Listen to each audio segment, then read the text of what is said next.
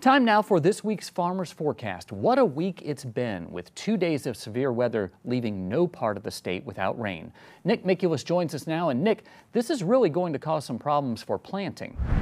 Hey, thanks, Avery. Yeah, it's going to be tough to get anything done out in the field. It looks like early in the week, but I do have some good news here as we have drier conditions coming in. Now, we hadn't been rooting for dry weather for so long, but now the drought, the abnormally dry, everything is officially gone. So we have some good news there, and then that dry start to the week. And I think that lasts through most of the week. It's very warm as well, so that's going to help with the drying process. And then the rain does return late, but I don't see anything like what we saw here over the last several days. Look at these totals here. Leesville, the highest one I could find in state at almost 11 inches, and then you can see the rest of those there right here in Alexandria, 5.59 inches. But then look at that down in Baton Rouge, 1.2. So some areas of the state didn't see nearly as much, and you'll be able to get out and do some work uh, a little bit sooner. Here's an estimate. Now, I know these totals are going to be different than what you saw, but this shows the radar estimates. This shows the areas that we saw the heaviest rain. It was especially over the northern uh, half of the state. And then south of I 10, we had some places not even see an inch of rain. Looks like near Houma and then down toward Grand Isle, things were quite dry uh, relative to the rest of us up here in the northern half of the state. And here's your drought monitor. It's all gone.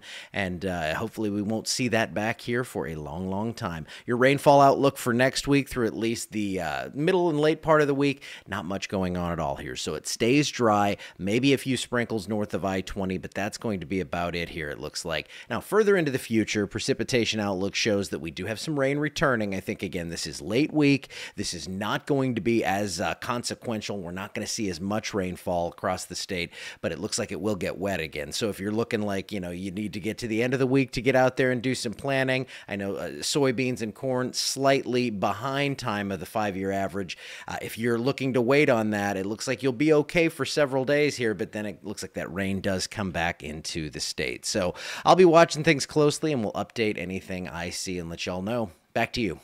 Thanks, Nick. I know you were live through most of that. Well, hurricane season is still more than a month away, but a well respected forecast is concerning for Louisiana. For the first time ever, scientists at Colorado State University are predicting 11 named hurricanes in the Atlantic. So, what does that mean for the ever receding coastline? TWILA's Josh Meeks talked to the scientists following this very closely. Every year since 1995, Colorado State University's meteorological team released a tropical forecast for the Atlantic. This year's is a doozy. The biggest numbers they've ever put in a preseason forecast. And a little added perspective on that 23 named storms is what they're calling for.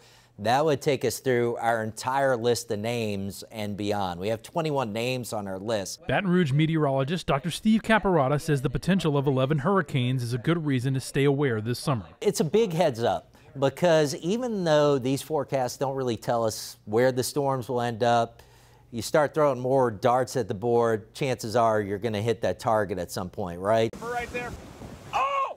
Dr. Paul Miller with LSU's College of the Coast and Environment says the conditions this year are similar to those in 2005 when the Atlantic saw 15 hurricanes. We're going to be transitioning from an El Nino state, which is where we currently are, into more of a La Nina pattern.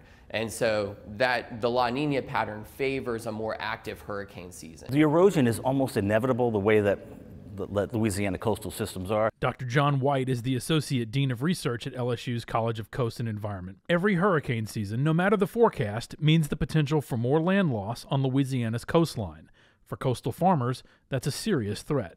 We lose 55 square kilometers a year whether or not we've had hurricanes or not. That's sort of our average loss. That's like losing the city of Lafayette every two and a half years. That's how much land is lost. Um, what we noticed is that when hurricanes are far away, so if, the, if a hurricane hits Lake Charles, our erosion rate goes up 60 times higher because the wind field is still large enough here to cause larger waves, which cause a larger amount of erosion.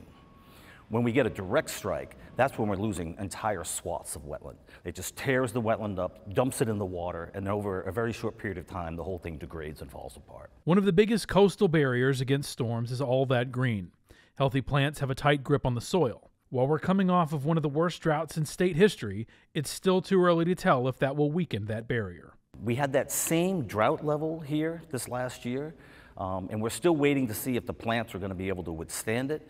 Um, but it does appear that the, the salinity is starting to drop in the soils, and so we're hopeful that that doesn't cause a large loss of plants. The work being done to reinforce the coast is never ending. That's why they're, they're planning to build the mid-Barataria sediment diversion at a cost of over $2 billion to provide that sediment subsidy to the marshes to help them. You can also do nature-based um, solutions. People are building, for example, oyster shell reefs. If you can put them in front of the marshes, that will slow the wave energy down. Now, it's worth noting that CSU's forecast covers the entire Atlantic. LSU will release a more Gulf specific forecast in May. For This Week in Louisiana Agriculture, I'm Josh Meeks. Hurricane season officially begins June 1st, but there have been years with May storms. The best advice for now is to be prepared with supplies and a game plan. For Parish Farm Bureau leaders, it's a good time to meet with your parish emergency operations director and get to know them before disaster strikes. That's one of the lessons learned by the Louisiana Farm Bureau Disaster Response Committee.